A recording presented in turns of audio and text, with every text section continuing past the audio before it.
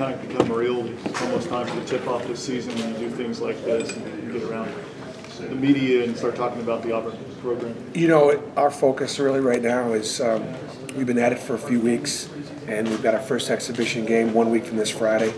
So I'm trying to think about my zone offense and, and my zone defense and our pressure sets and getting stuff in that we don't even have in yet, especially when I've got four scholarship players returning and uh, we got a lot of new pieces in the puzzle.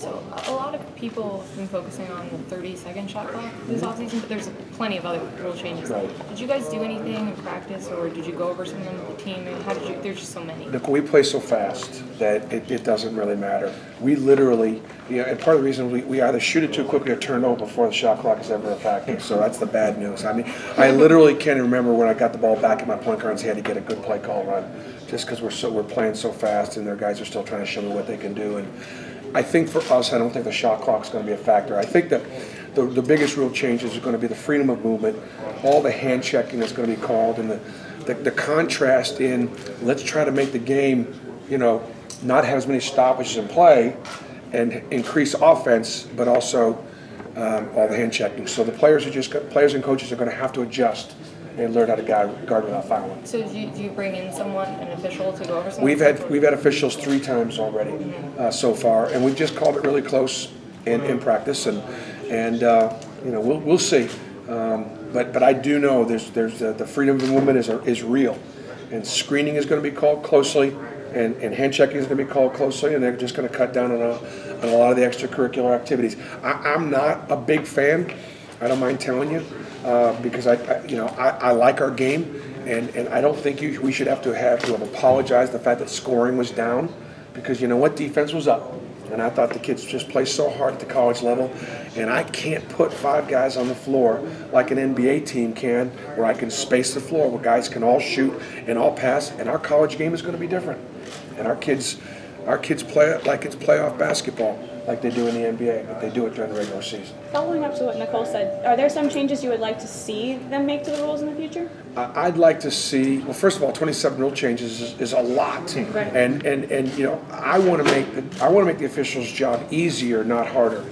Um, I think one of the things that I'd like to see is is in the last four minutes, I'd like to see for them to find ways to speed the ending of games up, and or but also um, the, I've been in way too many games when the viewers at home actually have a better look at replay than the officials do on the floor.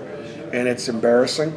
We put our officials in positions where they don't look good because they, they, they can only make decisions on what they see. We have enough technology to make sure they get a better look than anybody else. Coach, do you feel like with the addition of some new coaches and some improved recruiting that the league as a whole is getting more respect nationally? I, I, think that the league is getting more attention nationally because um, the recruiting has clearly picked up. You know, where I am on the coaching, I'm obviously I'm a new coach also. You know, I, I wish every one of those guys, with the exception of Billy Donovan, who got a chance to go to the NBA, I wish all those guys had kept their jobs and, and there weren't coaching changes. The coaches that we brought in are, are high profile, very experienced, and have brought a lot of attention uh, to our league and um, you know we are picked 10th. Um, we were picked, I even think, slightly higher last year. I've got a much more talented team this year, and yet we're picked about where we are because that's how good the league really is. Given what's happen, happening in Louisville right now, can a coach know everything that's happening in his program, and is it, is it fair to hold a coach accountable for everything that happens in his program, regardless? Well, the rule's the rule, and the rule says that we are accountable and responsible for everything in our program, and we certainly do that to the very best of our ability. I don't know how many, I don't know how many presidents or CEOs or managers of companies can know everything that goes on in their program uh, and in their business. Uh, we're going to try to hire people and have people that work for us that understand what our culture is.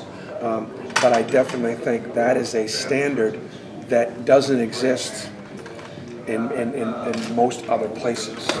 So it's a, it's a pretty st- tough standard to live up to.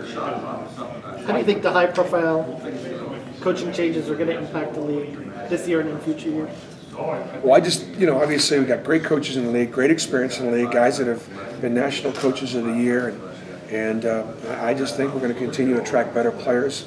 Uh, the league is already playing the toughest non-conference schedule uh, in the country. You know, we're picked 10th. We picked, we're playing the second or third toughest schedule in the league. Um, and so now we got to try to win some of those games. But I think you know you can't win if you're not in it. And I think that's going to bring positive attention to it. What is it about your team that makes you think that you can be better and better than 10th? Well, we got a little bit more traditional size, length. We've got more competition for positions. We're very inexperienced. We're very young. Uh, again, only four returning scholarship players back. So it's like sometimes the best way you can teach is just simply go do what they're doing. Just do what he's doing. And that's the best teacher you have. I don't have a lot of that. That's that's like year one for me all over again.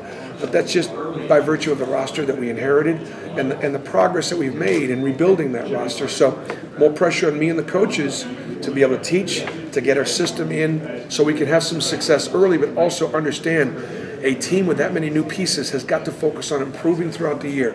Every team has to improve throughout the year, but the teams that are bringing back a lot of players, they're not going to improve as much through the year just by virtue of, of, of uh, the makeup of the roster. Why do you think recruiting as a whole has picked up in recent years?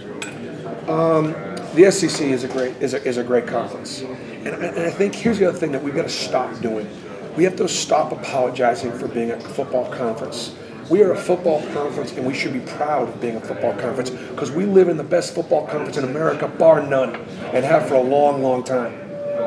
And in late October, early November, in the East and in the North and in the West, when they're just about done with football, with the exception of a couple schools, we're just getting warmed up in the South. We should stop apologizing for that.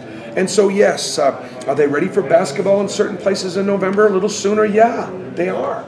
So we got to wait a little bit longer until the focus comes our way. But that doesn't mean that our people don't love basketball as much. We just got 90,000 people at a football stadium and traveling to bowl games and playing for national championships.